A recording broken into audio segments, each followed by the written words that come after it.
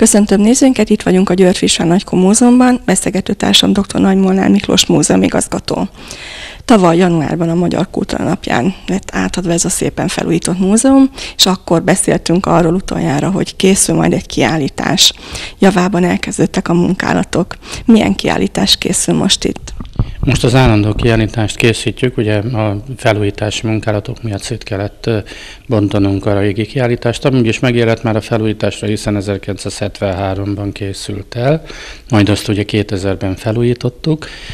De mivel az épületet korszerűsíteni kellett, ezért az a kiállítást is szétbontottuk, és egy minisztériumi pályázatot megpályáztunk, az alfa pályázaton nyert a megyei önkormányzat a kiállítás kivitelezéséhez kép pénzt, és most a közbeszerzés és egyéb hivatalos folyamatok után július 1-től, illetve június, július 1-től birkafőző versenytől, föl, ö, utántól már azt mondhatjuk, hogy most már a, ki, a kivitelező munkálatokhoz is hozzá tudtunk fogni. Addig ugye a tervezés, kivitelezés tervezése ö, ö, volt a feladatunk, hiszen a pénz természetesen nem volt annyi, mint amennyit pályáztunk. Akkor nézegettük azokat a nagyon szép látványterveket, amit mm, beszéltünk akkor, hogy mi minden lesz majd a termekben.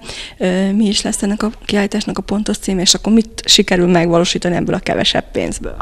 Én a Kunok öröksége a címem, és hát gyakorlatilag nyolc teremben fogjuk bemutatni azt, hogy a, kik is a kunok, honnan jöttek, hol telepettek, tehát itt a nagykonságot és a főképpen karcok történetét és néprajzát fogjuk, földművelés, tehát a gazdálkodást, a tanyás ö, ö, életmódot, illetve a lakáskultúrát és a népművészeti örökséget fogjuk bemutatni. Sok minden visszakerül az előző kiállításból, vagy próbáltak a raktárból is új dolgokat behozni?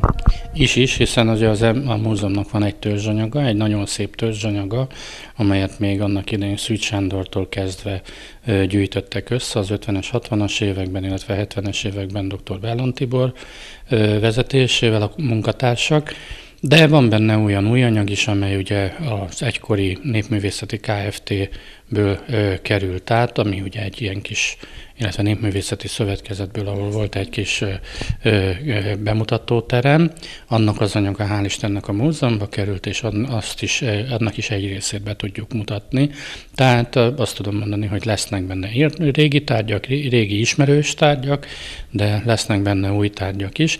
Illetve hát mi igyekeztünk egy, egy olyan fajta koncepciót bemutatni, illetve egy olyan koncepció alapján bemutatni ezt, hogy nem csak a tárgyak magukat, magukat, hanem magát a vidéket, a környezetet, az élővilágot, az életmódot, a lehetőségeket, és ezért is adtuk neki azt, hogy a kunok öröksége, tehát hogy elindulunk onnantól, hogy kik voltak a kunok, és elind, megérkezünk oda, hogy mi is maradt meg azokból, illetve hogy alakult át a kunságnak az élete, illetve a tudata.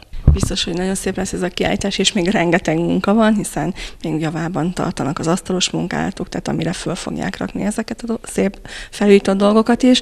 Mikor fog megnyílni ez a kiállítás a nagy közönség előtt? Amint ugye mondtam, hogy mi csak most kezdtük gyakorlatilag a munkát, és hát egy ilyen nagy munkánál az elsődleges az, hogy az installációs rendszer elkészüljön.